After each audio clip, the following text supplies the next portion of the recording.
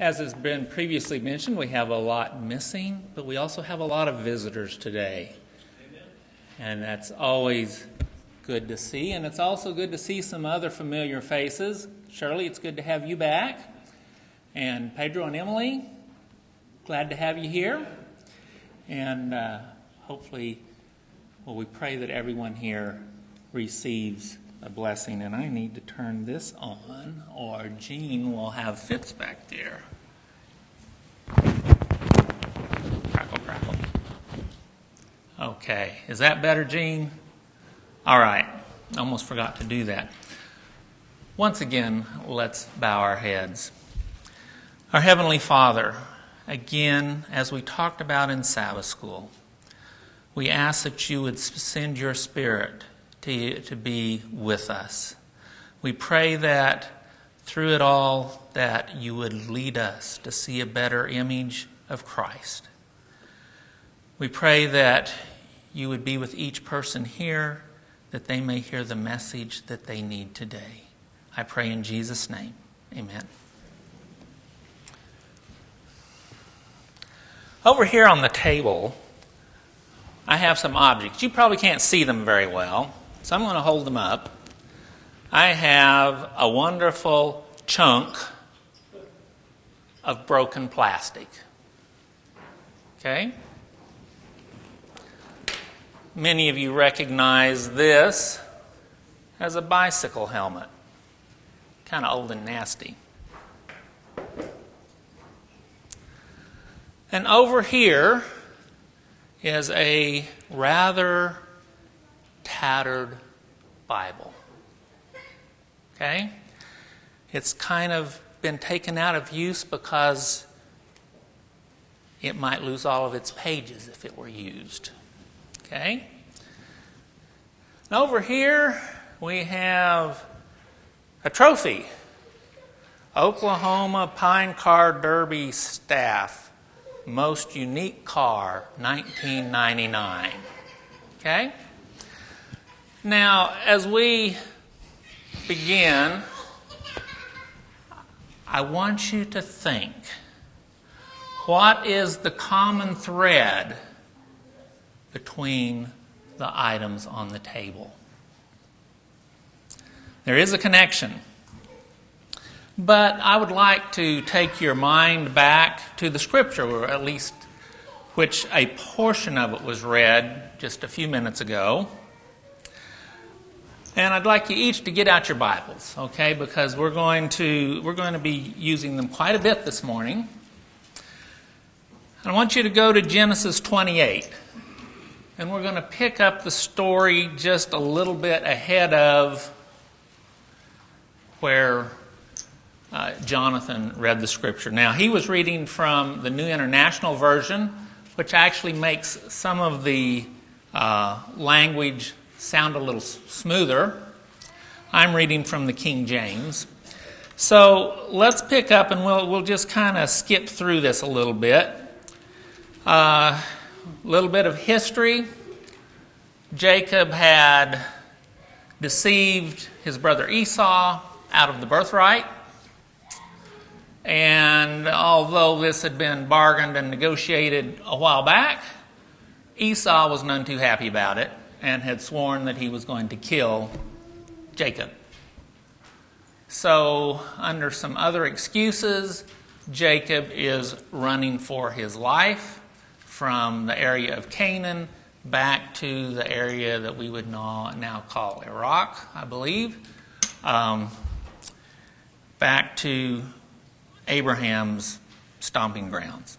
So, Genesis 28, picking up in verse 10. And Jacob went, went out from Beersheba and went toward Haran. That's Canaan toward Iraq. Verse 12.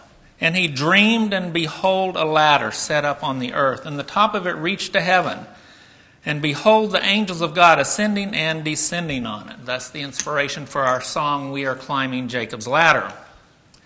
And behold, the Lord stood above it and said, I am the Lord God of Abraham thy father, and the God of Isaac. The land whereon thou liest, so he hasn't really left Canaan yet, The land whereon thou liest, to thee will I give it, and to thy seed. And thy seed shall be as the dust of the earth, and thou shalt spread abroad to the west, and to the east, and to the north, and to the south. And in thee shall thy and in thee and in thy seed shall all the families of the earth be blessed. And behold, I am with you, and will keep thee in all places whither thou goest, and will bring thee again into this land. Okay? Jumping to verse 16. And Jacob awaked out of his sleep, and he said, Surely the Lord is in this place, and I knew it not. And he was afraid, and said, How dreadful is this place! I like the other version that says, How, what is it it said, Jonathan? How awesome? Not, yeah, how awesome is this place? This is none other but the house of God, and this is the gate of heaven. And Jacob rose up early in the morning and took the stone that he had put for his pillows and set it up for a pillar and poured oil upon the top of it. And he called the name of that place Bethel. And Jacob vowed a vow, saying, If God will be with me and will keep me in this way that I go, and will give me bread to eat and raiment to put on, so that I come again to my father's house in peace, then shall the Lord be my God. And this stone, which I have set for a pillar, shall be God's house, and all that thou shalt give me, I will surely give the tenth to thee. So, what was the purpose of the stone? We have all this other stuff going on, but what's the purpose of the stone? And what lessons can we learn from the stone and, of course, these circumstances? Well, the stone was to provide a place that when he came back by, it was a place to remember. An event where he had had a true encounter with God. And I'm going to refer to it as a stone of remembrance. Okay? The rock. A second thing, okay, it was to, it was to commemorate the place where he had met with God. It would also bring to his memory, to help him remember, God's promise to him that God would be with him and bless him. What else happened there? God made a vow to Jacob. What else happened? Jacob made a vow to God. So this rock is a monument to what happened there, the promise of God, a vow that God would be with, more than just that God would be with him, and his vow to God. And if we look at that, it became maybe not his full conversion, but it was a turning point in Jacob's life. Jacob, his, direction changed at that point. Now, let's roll the calendar. Jacob, where did he go from there? He went on to Laban, his uncle, I believe it was. And when he is there, he makes a bargain for, as they did back then. I, I don't remember as extreme negotiations when I got joy, but he worked for seven years and then was tricked. Another seven years. And there's, there's a whole bunch that goes on there. And the whole time, Laban is scheming and cheating him. But 20 years later, he has at least 12 kids. they tended not to talk about the girls very much. And I would suspect that there were some of those there as well, but only, is it Diane or Diana gets mentioned? So he has these kids, he has servants, he has cattle. And now God comes back to him. Let's go to Genesis 31. 31, verse 13.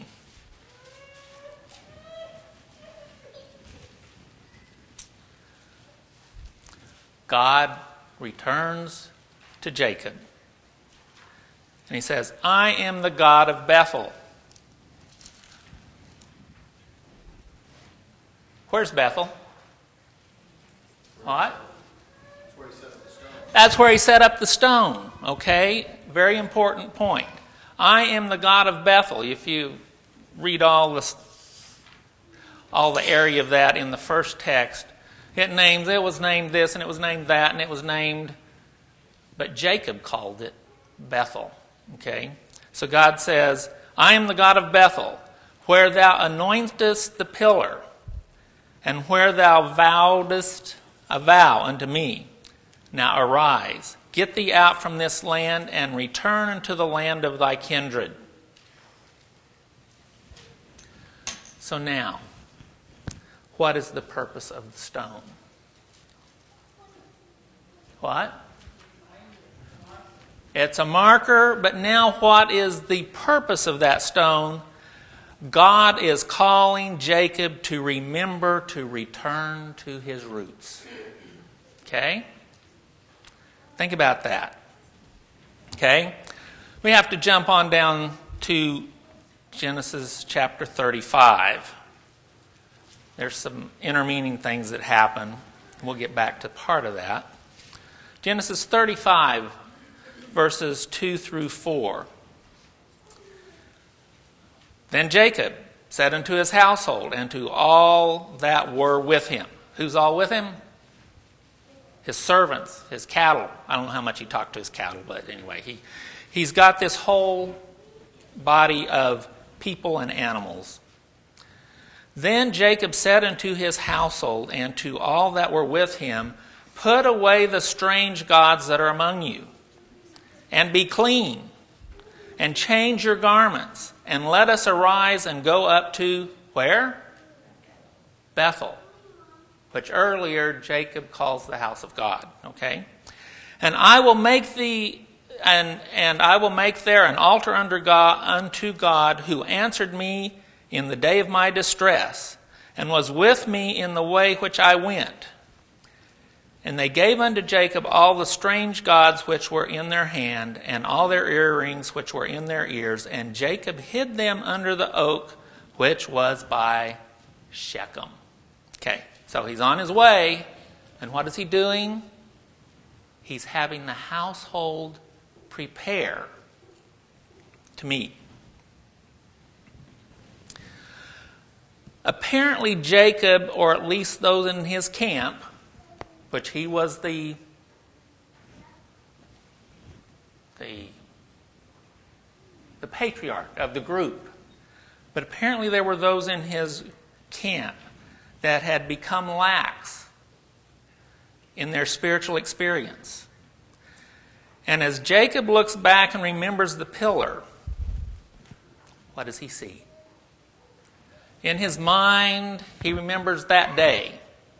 He's approaching back to that place, and his mind recounts the time, the, the 20 years that have taken place. And he can see his personal, not only just that of the camp, but he can see his personal meanderings spiritually. He's kind of been wavering in his path. His stone of remembrance has now become a compass giving him direction for the future. You, you understand that? As he looks back, says, My path has not been very straight and clear. But I look back and I see where I should have been heading, and I'm headed that way now. Okay? I can almost picture it as they are nearing, the, nearing Bethel, the place of the stone. Jacob wonders if the rock is still there as he sees the hill in the distance. Then he's not sure if, he, if he's imagining it or if it is real, but he thinks he sees an out of place rock on the top of the hill. And he limps as fast as he can up the hill. And then he calls the family around, however many it is the family, the servants. And in quiet reverence, almost, you, you know what breathless excitement is? He exclaims, Family. Reuben, Judah, Rachel, Leah, this is the place. This is the place. This is the very stone. This is where God met with me. So, what has the purpose of this stone become at this point?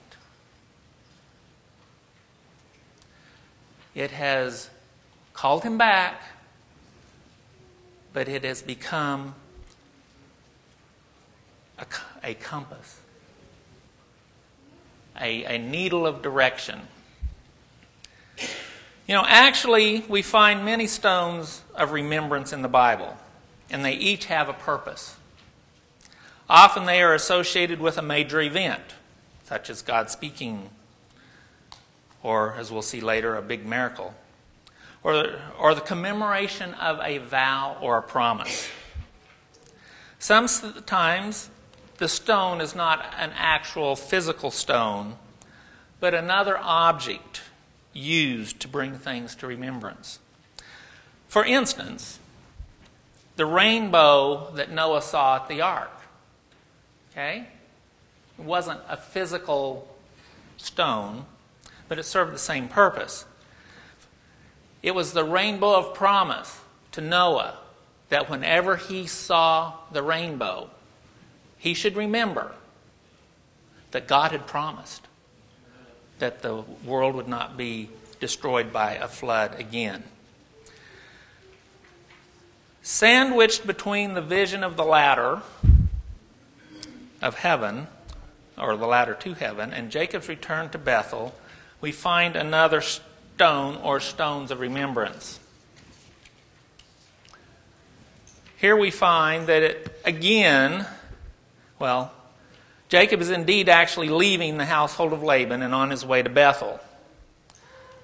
Because of all of Laban's scheming and treachery, Jacob and his whole household have left secretly. When Laban finds out, he is none too pleased and, and takes chase with ill intent. So again, Jacob is somewhat running for his life. Fortunately, God intervenes and warns Laban to do Jacob no harm. And they come to an agreement. And I'd like you to go back to Genesis 31. 31, verse 44.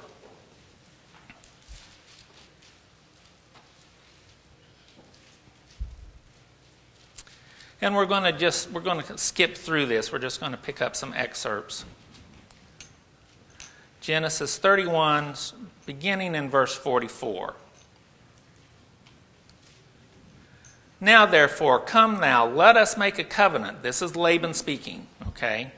Now, therefore, come thou, let us make a covenant, I and thou, and let it be a witness between me and thee. And Jacob took a stone and set it up for a pillar. And Jacob said unto his brethren, Gather stones and they took stones and made a heap. And Laban said, This heap is a witness between me and thee this day. Therefore, the name of it was, called Gilead and Mizpah. That's verse 49. I kind of skipped a little bit there. For he said, The Lord watch between me and thee when we are absent one from another. Jumping on to verse 51. And Laban said to Jacob, Behold this heap, and behold this pillar, which I have cast betwixt me and thee. This heap be witness, and this pillar be witness, that I will not pass over this heap to thee, and thou shalt not pass over this heap and this pillar unto me for harm. The God of Abraham and the God of Nahor, the God of their father, judge betwixt us. So, what he's saying, he's saying, Don't you ever come see me again? No. What he's saying is, We have made a vow between us. I will, if I'm coming this way and I see that pile of stones, I'm going to remember that I promised I would not cross this line to do you harm. And you promise that if you come this way and you see this pile of rocks and pillar, that you will not do me harm.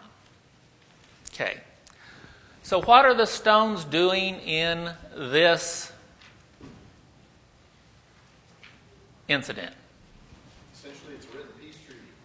A written peace treaty, except they didn't quite write it down, but they knew something else had happened the stones were a witness. Bunch of dead stones. But they are there as a witness to remind either of them. So the stones are declared to be a witness. And secondly, what are they providing a remembrance for? They are providing a they're a stone of remembrance to commemorate a vow. We had that previously. But who is the vow between this time? It's between two human beings, two relatives to be exact.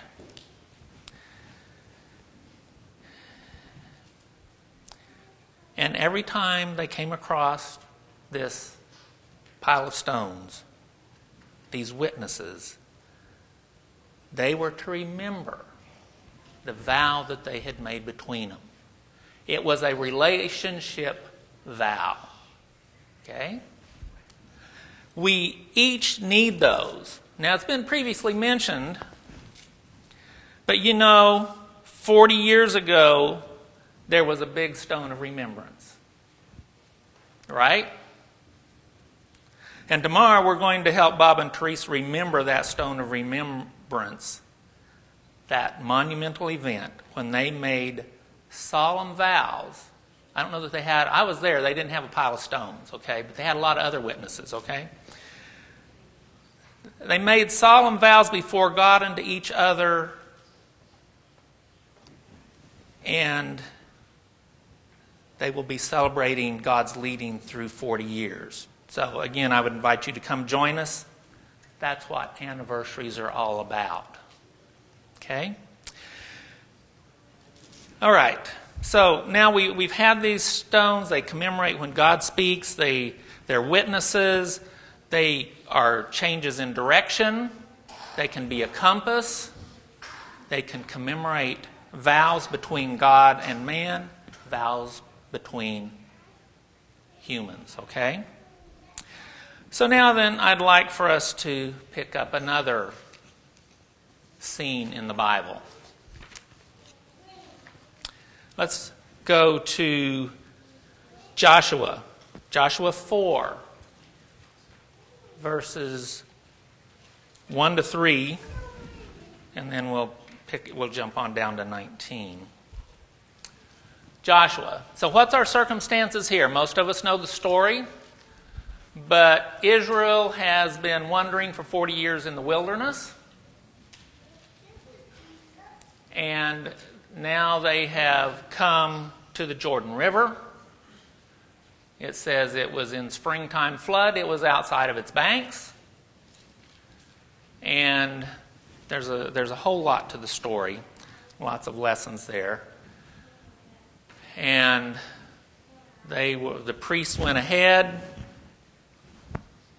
two, about two thirds of a mile ahead of the whole group and walked into the water. When they did, the flood waters It says they piled, water doesn't pile up, water seeks its flat level. The story, the water piled up. It's not supposed to do that. And, but it did because God directed it to. And they crossed the river on dry ground. Okay. So we're picking it up, chapter 4, verses 1 to 1, and we'll, like I say, we'll skip on down. And it came to pass when all the people were clean passed over Jordan that the Lord spake unto Joshua, saying, Take you twelve men out of the people, out of every tribe a man and command ye them, saying, Take you hence out of the midst of Jordan, out of the place where the priest's feet stood firm.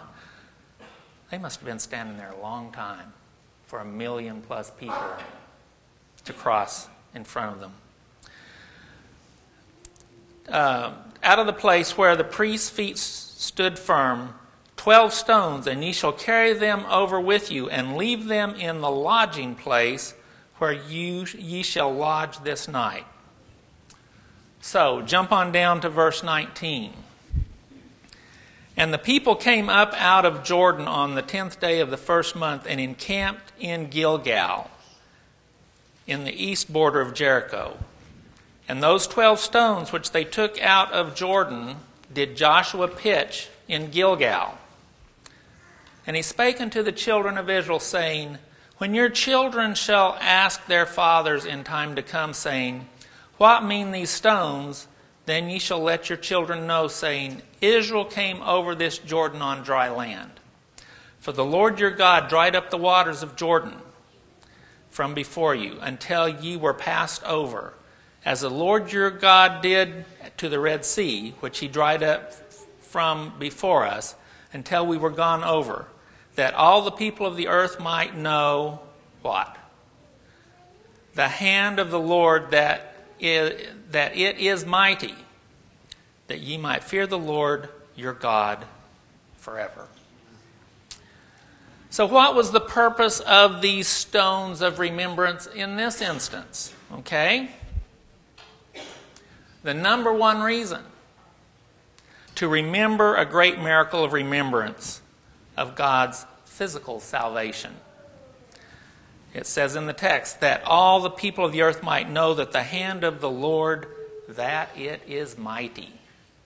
I've never seen anything like that. None of us here have.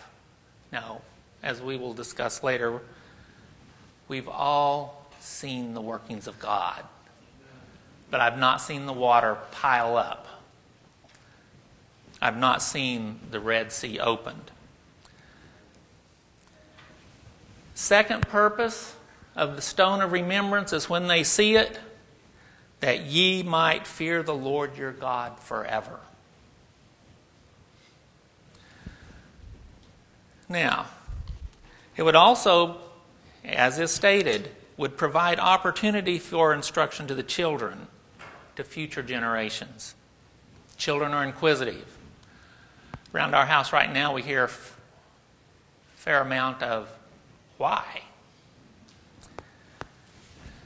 They see something unusual, they will ask why. They'll ask that even if they don't see something unusual.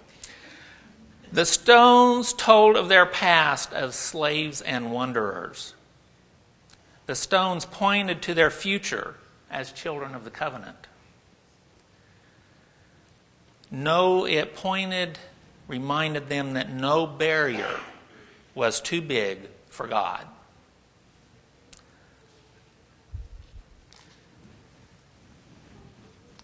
In reality, though, these stones of remembrance had even broader scope. Okay? I mean, the, what I just said above is stated in the text. But I want you to think about what else those stones could mean. The crossing of the Jordan marked a change in spiritual direction. What had the previous 40 years been characterized by? We're going to do it our own way. We're going to They murmured, they complained about everything. Now, maybe if I were in the middle of the hot desert, I might be prone to, we, we are very critical of them. But how are we when we get in some straight circumstances? But it was a change of spiritual direction for the people of Israel when they crossed over Jordan. Previously, their way had been marked by their own doings, their own way. The crossing of the Jordan marked a change of direction to trusting God to fight their battles for them,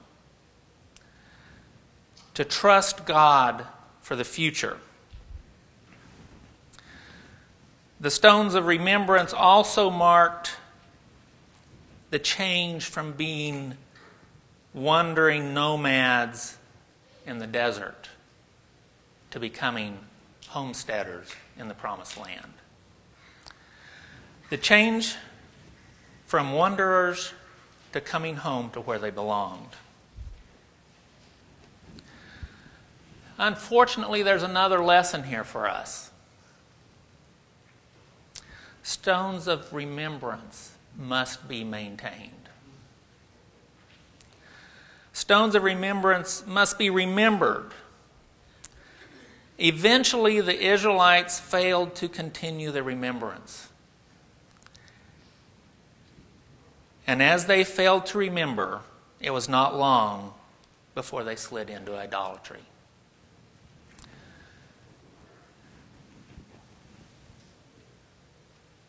We could go on with other stones of remembrance. For instance, you have Samuel,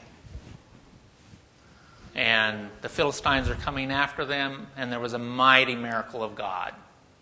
And he raised up a stone and called it Ebenezer. Now, while I was contemplating and studying for this sermon today, thinking of stones of remembrance, I thought of some that we probably don't think of as stones of remembrance. But the thought came to me God Himself has set some stones of remembrance. Okay? You're going to have to follow my logic on this one. Go to Psalms 102, verse 25. Psalms 102, verse 25.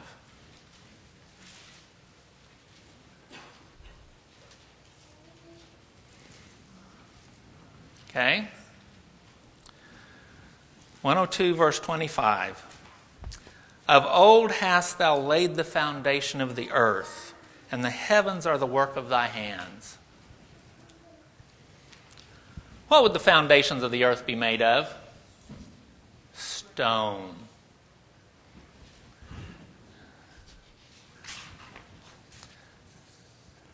What is the purpose of this stone of remembrance? How do we recognize the earth as a stone of remembrance? We should all be very familiar with it. If you need to look it up, Exodus 20, verses 8 to 11. Remember the Sabbath day to keep it holy.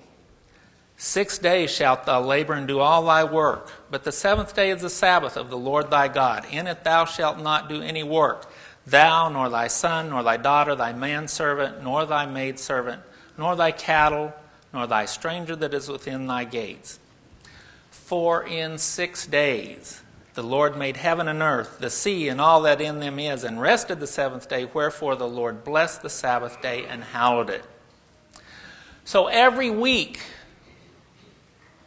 as the Sabbath comes by. It is to be a stone of remembrance for us to remember God's great act of creation because there is no other entity anywhere that can do that. But it's very easy for us to forget unless we consciously maintain our stone of remembrance. So, I'd like to again call your attention to our table over here.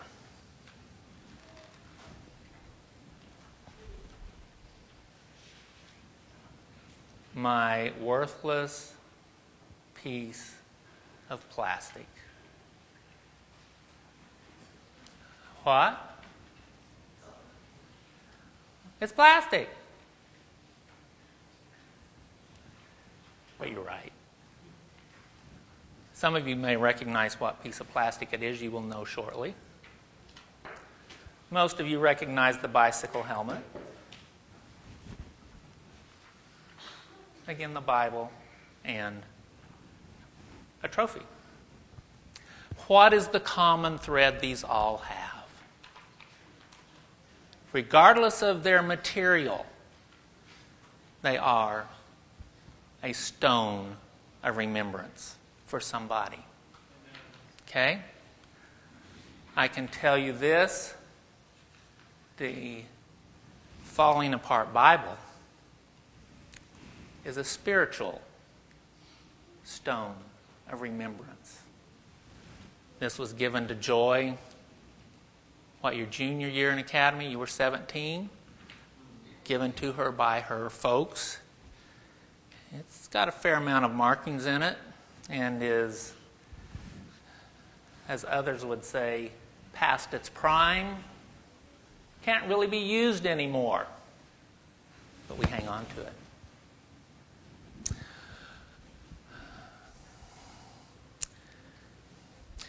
We all need, well, let me back up here, and hopefully my computer's still alive up here. Let's talk about this.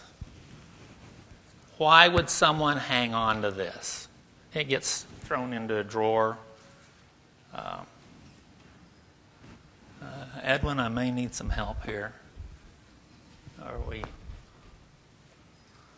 It's dinging at me here. If you can get me on the first slide. Try it. We're not moving. Try that one. There we go. A little larger view of it. A relatively quick story. When I was going to engineering school, I worked at the structures lab. Now, quite frankly, for the most part, it was a fun place to work. We had the equipment where we could put together full size buildings, I mean, within limits, and we could test them, we could push them over. It was fun. Our motto was if you can make it, we can break it. Now, Having said that, Edwin, I may need you just to, there we go. Okay, this isn't the actual picture, but the lab had in it what we call an overhead bridge crane. This is the bridge, and it has rails. In our case, it was an underslung one, but it could move the length of our lab and it was a five ton, we could pick up some pretty heavy stuff and move it around. That's pretty good. One day, well, for quite a while actually, I was working on a test apparatus. And the test apparatus, we were testing some metal building shear panels. But I'll try to show you here. Okay, this is a rough picture, we had this frame. It was probably 15 feet tall. The bottom of the bridge beam that goes back and forth and back and forth was probably right at, it was probably about two inches above. It gave us clearance for it to pass over the top of the apparatus. And we had another frame up here, horizontally here, that we used to stabilize things. So I was working on it on a ladder up here with the top of it just barely touching or just barely catching the top of the frame. And I had a frame beam behind me. Now, some of you who have worked in an industrial facility, there's a distinct sound that you will hear. You will hear the relays snap and a motor hum, and you know the crane is moving. And I was on top, and the bridge beam was about four feet in front of me. Now, we could talk about all sorts of OSHA regulations and what should have been done and what wasn't done about disabling the crane and all those sort of things. But the facts were, I was facing that crane beam. I heard the relay snap. I heard the motors hum, and I started yelling. And I started scrambling down the ladder, but I'm a little bit restrained here by the beam behind me. Okay? By that time, the beam is moving. I had moved down, but the crane, the bridge beam, hit the top of my ladder. Okay, now look at it a second. The beam is moving this way. What's going to happen when it hits the ladder? Two things. If it goes backwards, like that, what's behind me? A beam. I'm crushed. Because you don't stop that much mass moving. If this beam hadn't been behind me, what would have happened? It would have thrown the ladder backwards, right? What? Yeah. If the beam had been going the other way, I would have not have had time to get my head down below. But instead, it was just right. The beam contacted the plastic tip of the ladder. It gave way, and I'm here today. Okay? So, as we look at these things, this is a stone of remembrance. And you say, well, it was a good thing you only put the ladder up so high. When I put that ladder up, I wasn't thinking of that. But the Lord God of heaven, through his angels, knew ahead of time what position my ladder needed to be in, and also made sure that the plastic broke. Right here, you can't, you can look at it later there's a dent in the top of the plastic that you can see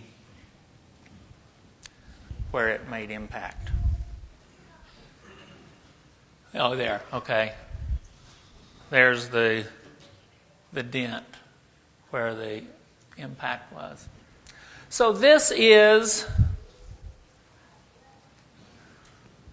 a stone of remembrance. I don't just keep it as an idol on the top of my dresser and say, every day I look at it, but it's in a drawer. And periodically, when you rummage through the drawer, you come across that and say, Ah, yes. The Lord was with me that day. And it gives me confidence that He had a reason that day to intervene. And what am I doing with that opportunity? We all need stones of remembrance. And God has placed stones of remembrance in each of our lives. Stones of remembrance. They may not actually be a physical object, they may be an event, they may be the establishment of relationships, they may be a spiritual awakening or change of direction. We all need them. Stones of remembrance serve the same purposes today that they did in Bible times. They lead us to recognize and teach our children the hand of the Lord is mighty. The hand of the Lord is mighty to save. It has been said Christianity is only one generation from extinction. We must point our children to our stones of remembrance. And of course, teach them the precepts of the Scripture as well. We must look back and see God's care and leading, but move forward in trust. There's a quote that many of us are very familiar with. Now, she's speaking of the history of the church, but it actually applies to each one of us. In reviewing our past history, having traveled over every step of advance to our present standing, I can say, Praise God. As I see what God has wrought, I am filled with astonishment and with confidence in Christ as leader. We have nothing to fear for the future, except as we shall forget the way the Lord has led us and his teachings in our past history. We need to remember where God has touched our lives. When, when times are tough, we need to look back to stones of remembrance. We are in grave danger if we forget to remember. Stones of remembrance can serve as a compass in our current life. We can look back and see where we have strayed from the path that was given to us, as Jacob did, and look back. And that look back can steer us back to the path that was set before us. Sometimes we may wonder where God is leading. But we can look back at the stones of remembrance in the past and see, thus far hath God led, and, the, and, trust that, and trust that God will not make mistakes in his leading. You know, when I think about that, and some of you have been pathfinders in the past, some of you have been scouts. There used to be an honor or badge called track and trail. Amanda, did you ever do track and trail? Dale? Okay. Now, with cell phones and GPS and all that sort of stuff, who cares? Just carry your phone and you can get in touch with somebody and they'll, they'll figure out how to get to you, right? But there was a method, it was called track and trail, where whether you were in the desert or you were in a wooded area or in a grassy area, you would take and you would leave marks as to where your path had been so that someone else could follow you, but also so that you could follow your way back. Where you took you would take rocks and you would if you if there weren't trees and brush around, you would take rocks and you would put them in a certain pattern that would indicate, I turned that way. And as we look back on our lives, it's kind of like looking at track and trail. We can look back and we can see these stones of remembrance. And, and I probably told you one today, but I could name trails where I can say, God was with me. I can also tell you times when I kind of moved away from the path a little bit, but God brought me back. Okay? We must not be tempted to question God's leading, that He has made mistakes in the past. Now, we make mistakes, that's true. But He has a plan for each one of us. And as we see that leading through our track and trail of stones of remembrance, it will give us confidence for the future. In Desire of Ages, page 224. God never leads his children otherwise than they would choose to be led if they could see the end from the beginning and discern the glory of the purpose they were fulfilling as co workers with him. As we look back at the stones of remembrance that God has given us, we will recognize God's leading, that God has started a work in us. And if we will let Him, he will complete it. Uh, turn with me to Philippians 1, verse 6. Philippians 1, verse 6.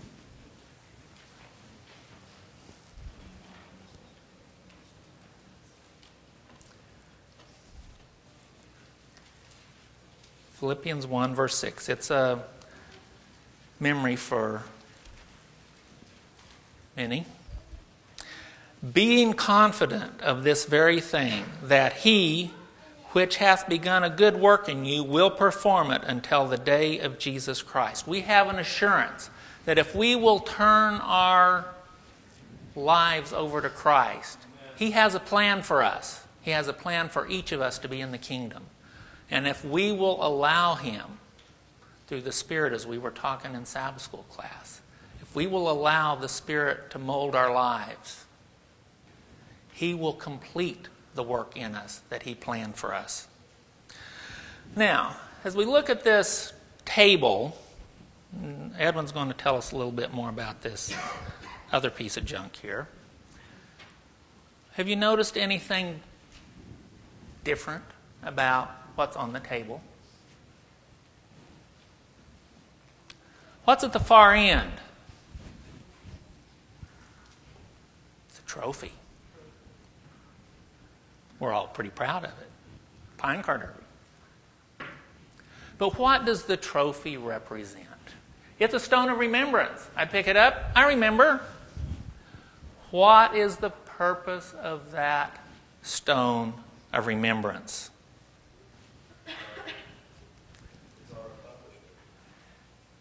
Right.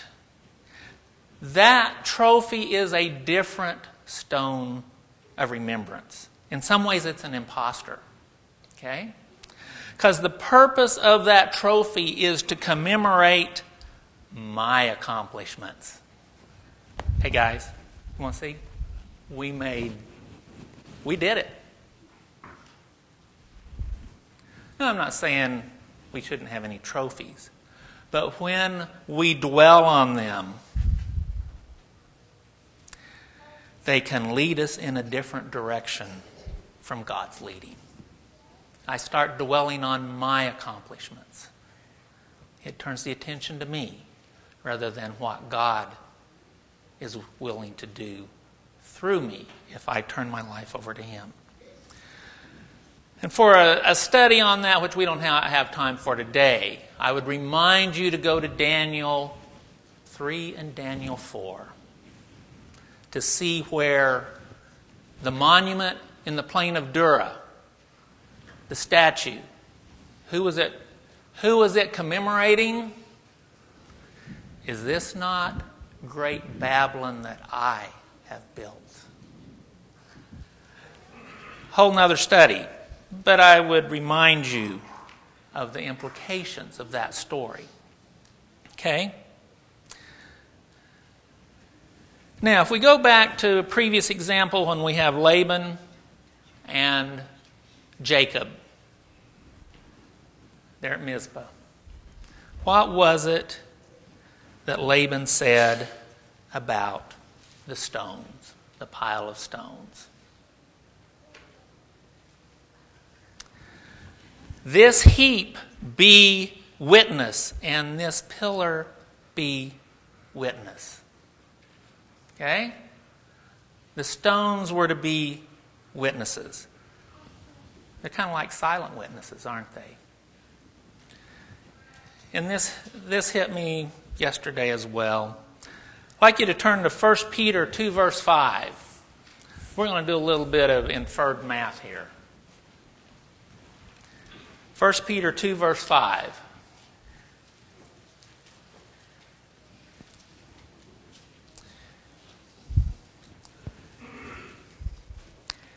Ye also, as lively stones, are built up a spiritual house, a holy priesthood, to offer up spiritual sacrifices acceptable to God by Jesus Christ. So, what are we? We are living stones. Now, you're going to have to follow me through on the math here. You know, have that thing where if A equals B, B equals C, then A equals C we are living stones, right? What are the stones? The stones are witnesses. Therefore, we are to be living witnesses. And we're going to, we're going to hammer that this whole quarter with the book of Acts. We are to be living witnesses.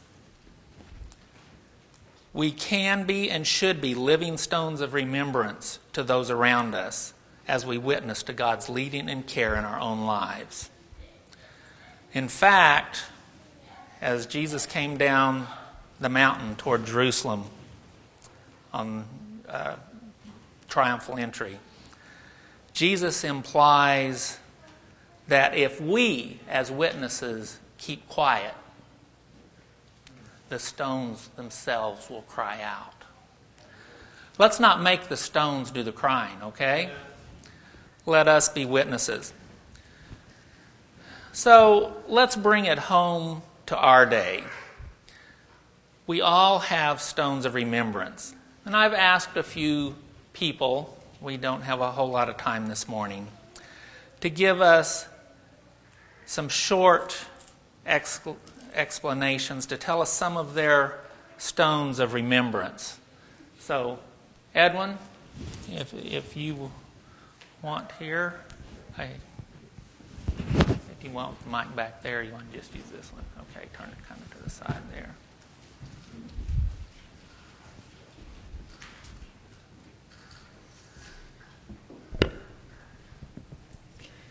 First of all, always wear one of these. Um, this helmet I've been I used for many years.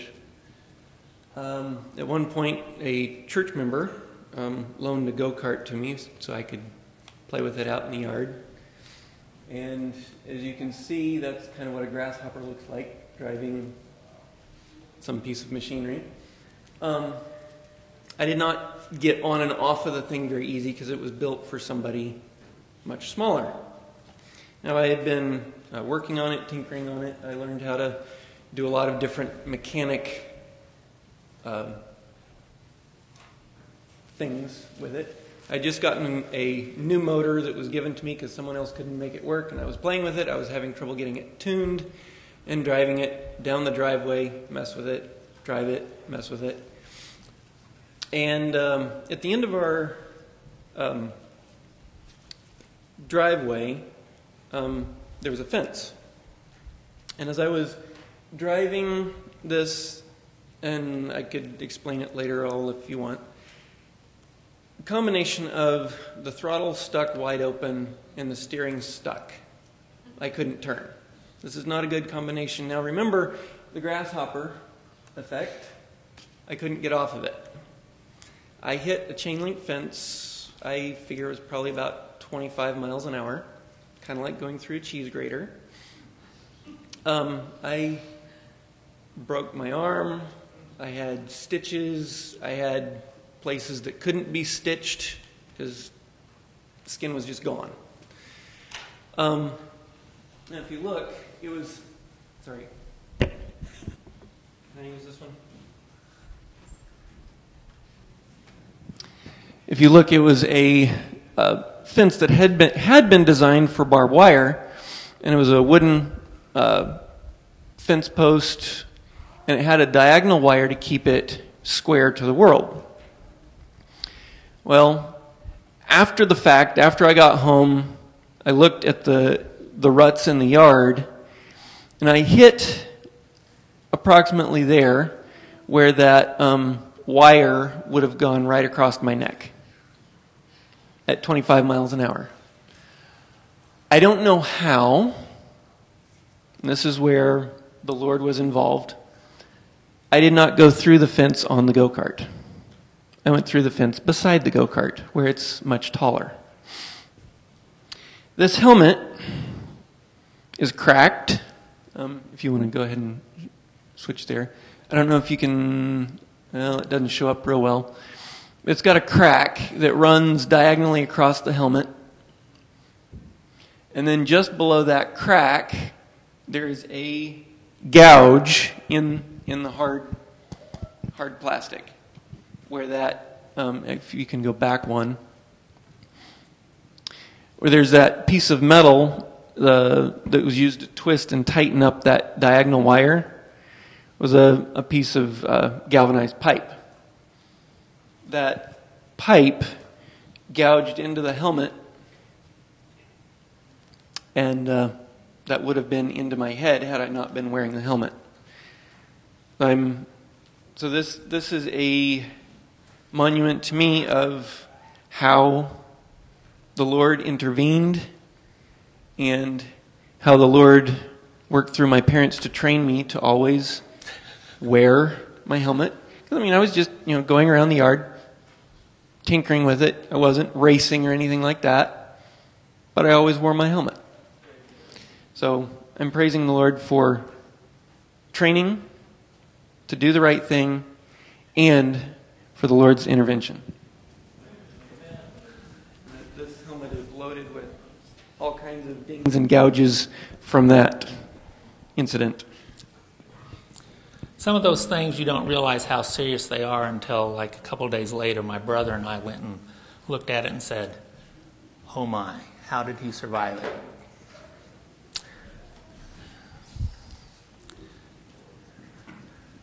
Terea, Bob has a mic for you back there.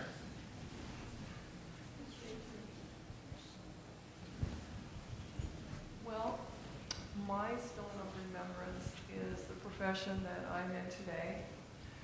And many years ago, uh, the Lord did reveal to me uh, His calling for my life, and, uh, to be a nurse. And um, uh, it was verified to me by a complete stranger just out of nowhere. And came up to me and told me, you're, you're going to be a nurse and you have to go to university. So I went back to the place where I was, my little prayer closet, and I thanked the Lord for, for calling me into the profession. But I pleaded and agonized about this because I had no money, no job. I was a forsaken wife and had two small children, and completely it seemed all impossible. And for about six weeks, I, I was in my prayers every day, asking the Lord over and over and over how university was going to happen in my life and where it was going to be. At that time, I was living in the mountains of Murphy, North Carolina. One day I was just going about my business and we were going to bed and I had had a dream. And in this dream, I was sitting in a chair in a room with a cloud of smoke or vapor or steam or something just enveloping me in the whole room. And it was, I would have stayed there forever if, and never woke up because it was so peaceful in that dream. And all of a sudden, this hand stuck out at me with a present, all wrapped up um, with a bow, like a birthday present. And I was very excited, and I knew the Lord was handing me this present. And I couldn't believe it was for me. And I heard his voice say, but you can't open it until the appointed time. And, and I woke up instantly, and I, I felt like I was still floating on a cloud. And, and by faith, I took that dream and said, okay, Lord, I'm going to step out in faith and I'm going to trust you for everything that it's going to take to get me to university. And by that fall, I'm supposed to start by that fall, and this happened in summer. By that fall, not only did I have the funds to get to university, which was over 1,200 miles away, as a matter of fact, it was at ORU. And um, I was enrolled starting, and I, I got a full scholarship for four years. Amen. And uh, my rock of remembrance actually is my profession, and I've been continuing it until this day. Okay. It speaks of God's leading in our everyday lives. Uh, LaRue, uh, Bob has a mic for. Oh, you can come up.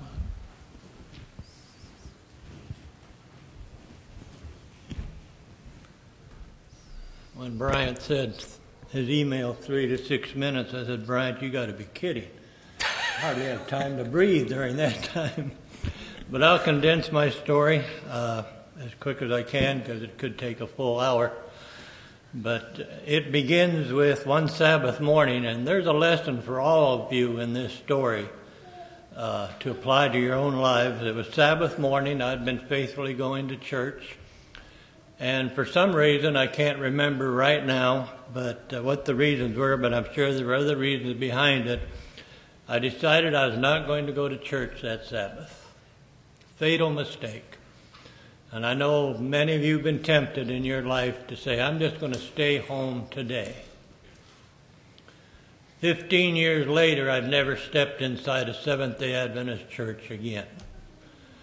Nobody called, nobody visited, nobody wrote.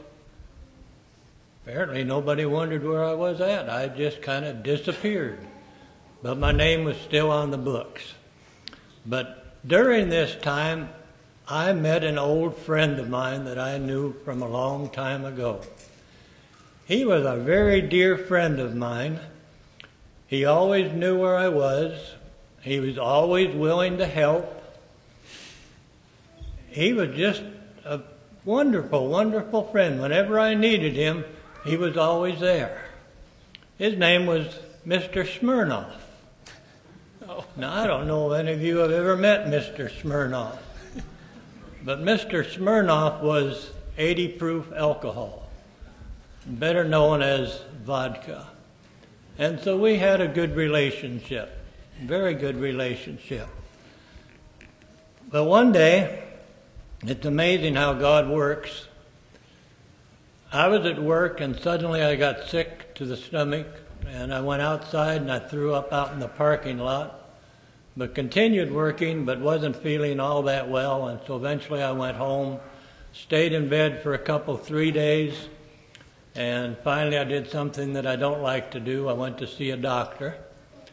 And my doctor wasn't there, but an intern was there. And he said, Well, he ran a few things and checked my heart and whatever. And he said, I think you might have bronchitis. Maybe you might be getting pneumonia. I don't know. He said, Here, take these pills. If you're not better in 30 days, come back and see me. Three days later, I was back there again, and my regular doctor was there. And he says, You want me to call an ambulance? Or do you want to have your wife drive you to the hospital? I was only a mile away. I entered into the emergency room, and that was the last thing I remembered for quite some time. I had surgery. I determined I had a busted appendix, and a very, very serious case of a busted appendix. But they operated on me. and my wife went home, and four hours later they called her back and said, You need to come back here as quick as you can because we're going to have to have a second surgery. What they didn't tell her at the time was they didn't expect me to live, that I was dying. But somehow, by the grace of God, I survived.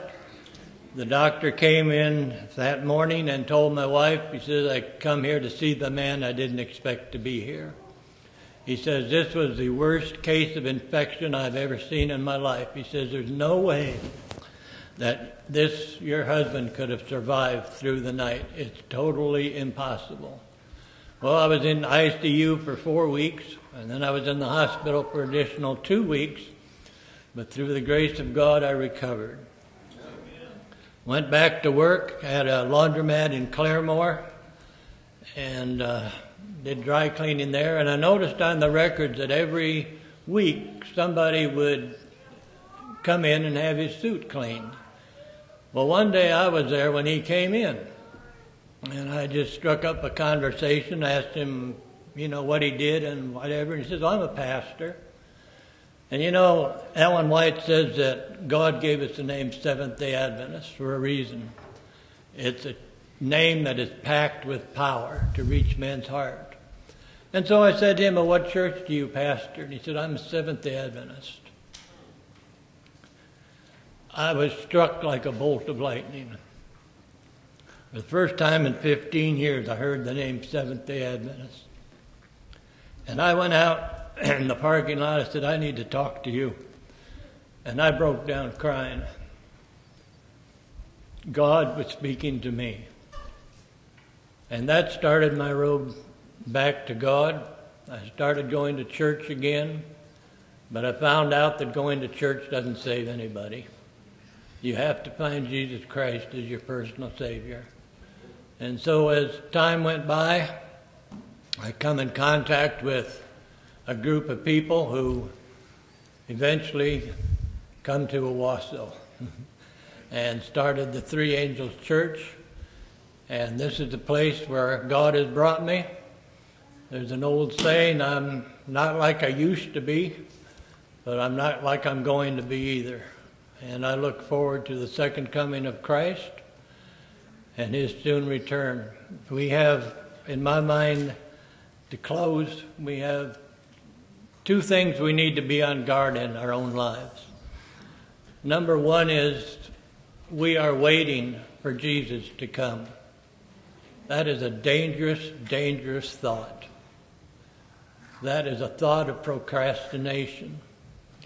Because while we are waiting for Jesus to come, Jesus is waiting for us. He's looking for a group of people that will represent his character so that he can come and take us home. The other one is, and we're getting into this in Acts, we had a tremendous Sabbath school today. Thank you, Brother Plank. And that is, we are waiting for the Holy Spirit to come into our lives. No. God is waiting for us to surrender our lives so fully and so completely that His Holy Spirit can come into our lives. Because the Holy Spirit will not come into an unclean vessel. And so we as a church, we as a people, we need to surrender our lives fully and completely to Him so that the Holy Spirit will come into our lives, we can finish the work, and we can be, go home to be with Jesus.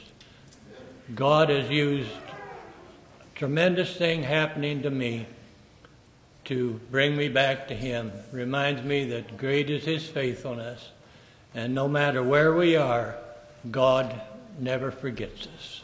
Thank Amen. you. Thank you. And Gene, I know most of us know a little bit, but could you quickly explain a stone of remembrance you have? Well, I didn't, I didn't keep my uh, stone of remembrance, but I do have a mark on my face that will remind me when I was asked to cut open a 55 gallon drum.